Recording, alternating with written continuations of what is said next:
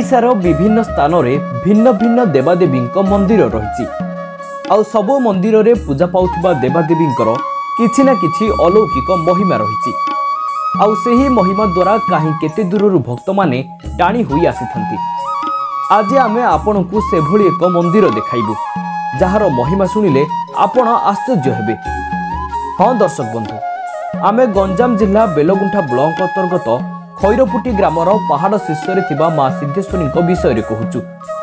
ଏହି ମନ୍ଦିରରେ ମା ସିଦ୍ଧେଶ୍ୱରୀଙ୍କ ସହ ମା କାଳୀ ଓ ମହାଶିବ ପୂଜା ପାଉଛନ୍ତି। ମନ୍ଦିରର ସମସ୍ତ ନିର୍ମାଣ କାର୍ଯ୍ୟ ମାଙ୍କ ଆଦେଶରେ ହୋଇଥିବା ବେଳେ ଭକ୍ତଙ୍କ ଭକ୍ତି ଓ ପୂଜାର୍ଚ୍ଚନାରେ ଏହି ମନ୍ଦିରରେ ସ୍ଥାପିତ ଶିବଲିଙ୍ଗର ଆକାର କ୍ରମଶଃ ବୃଦ୍ଧି ପାଉଛି। ତେଣୁ ଏହି ଲିଙ୍ଗକୁ ସବୁ ଲିଙ୍ଗର ରାଜନ ବୋଲି କୁହାଯାଉଛି। ମନ୍ଦିରକୁ ନେଇ ଅଲୌକିକ କାହାଣୀ ରହିଥିବା ବେଳେ ଭକ୍ତମାନଙ୍କ ସମସ୍ତ ମାନସିକ ପୂରଣ ହୋଇଥାଏ।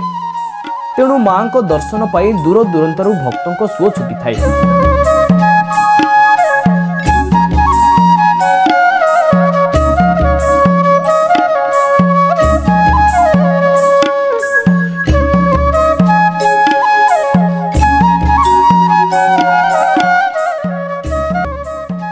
ମନ୍ଦିରର ପ୍ରତିଷ୍ଠାତା ବାଳଯୋଗୀ ଶ୍ରୀ ଶ୍ରୀ ଶତ୍ରୁଘ୍ନ ନାଥ ମାଙ୍କ ଅନୁମତିରେ ବିଭିନ୍ନ ସ୍ଥାନରେ ତପସ୍ୟା କରି ନିଜ ଜୀବନ ମନ୍ଦିର ପାଇଁ ସମର୍ପଣ କରିଦେଇଛନ୍ତି।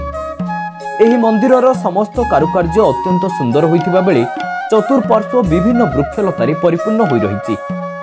ଏଭଳି ପରିବେଶକୁ ଥରେ ଆସିଲେ ଯିବାକୁ ଇଚ୍ଛା ହୁଏ ନାହିଁ। ଗଞ୍ଜାମ ଜିଲ୍ଲାର ଏହି ମନ୍ଦିର ଅନ୍ୟ ମନ୍ଦିରଠାରୁ କୌଣସି ଗୁଣରେ କମ୍ ନୁହେଁ।